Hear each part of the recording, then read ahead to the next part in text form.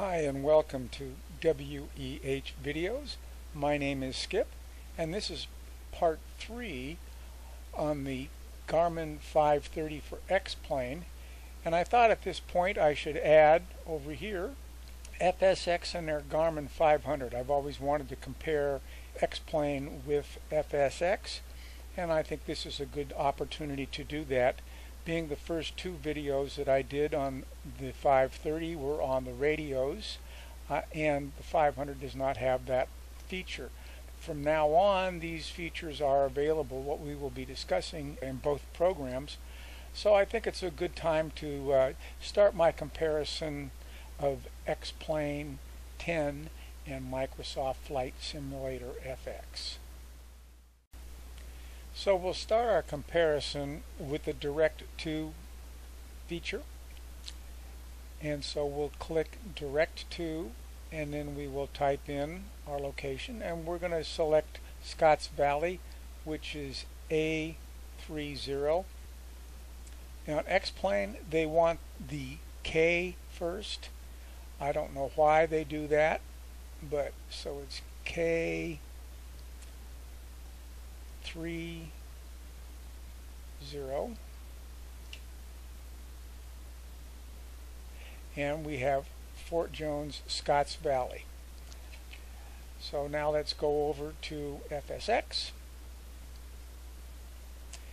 and one thing about FSX I could not figure out how to clear a waypoint or uh, direct to when I did this. So um, I'm just going to have to do that now so we're going to go, uh, we're going to go to A, 30. Boy, that just jumped right to it, didn't it?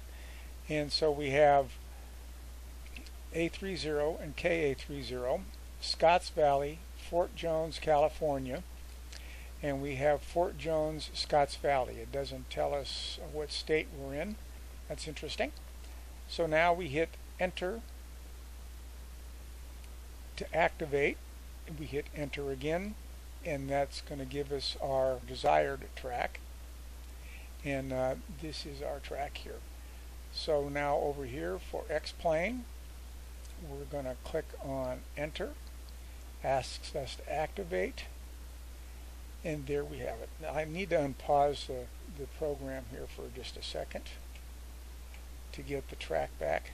So now we have our desired track and this is the track that we're on. So I mentioned earlier I could not clear a flight plan here. In X-plane if I click flight plan I can go click clear and it asks me if I want to clear it and I'm going to say yes I want to clear it. And now the flight plan has gone. When I try to do that in Microsoft I hit clear and nothing happens. I could not figure out how to undo a flight plan. Maybe somebody out there knows how to do that. It may be possible and I don't know. So let's take a closer look at the direct to function when we have a flight plan in the GPS system.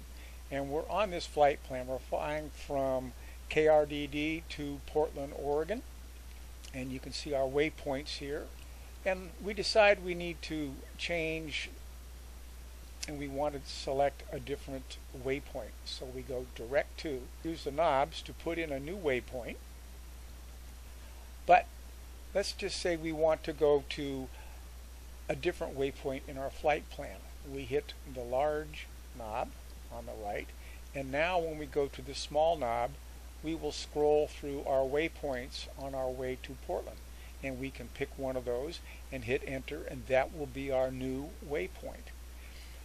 The other thing we can do in direct to is go to the nearest airport and now we hit the large button to go over to nearest and we can scroll through all the airports, the nearest airports on this route. So that's basically it for Direct to X-Plane version.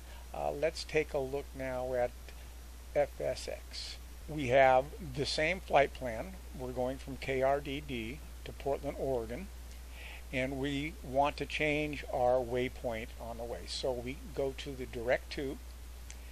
and now just like the Garmin 530 and X-Plane, do the same thing. We hit the small uh, knob on the right side to select a new waypoint or we take the big knob and we go down to our flight plan.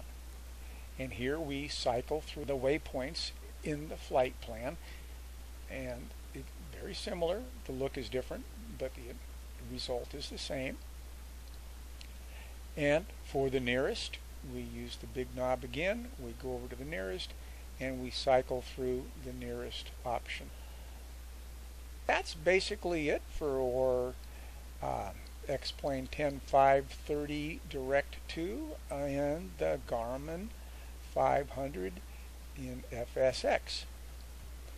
So there's two things I would like to point out before we end this video and that is if you noticed when we were in FSX and we were cycling through our options here when we hit the big knob on the right and we go down we have this option here that we do not have in X-Plane. X-Plane goes right to the flight plan where this is another option. And here in FSX we can actually type in an airport or a city name. We could type in San Francisco or Chicago or whatever and then do a direct to that. So that's a nice option in FSX that's not available in X-Plane. The other thing I want to mention is in X-Plane you can load a flight plan. Um, if you get rid of the cursor up here and you go to the next page, pardon me, to the next page, I have a list of flight plans that I can choose to go to. And all I have to do is select the plan, hit enter, and now that flight plan has been entered. That option is not available through the GPS, the 500 in FSX. You have to go up to Flight, Flight Planner, and open up your flight planner. And then you can load uh, a flight plan and say OK, and then that flight plan can be loaded. So those are the two differences that stick out right here. So that's it for this video. Um, I hope you got something out of this. Uh, if you like this, please click the like button. Uh, please leave a comment if you have any suggestions on um, things I missed or things that you would like to see next on this. I really would appreciate your comments. So thank you so much for watching and God bless.